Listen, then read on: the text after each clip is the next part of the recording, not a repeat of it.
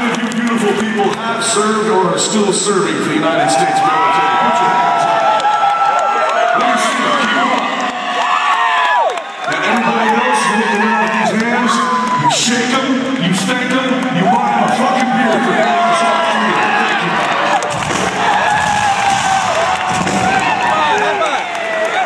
So this next one goes out to all of you. We call it Bad Cop.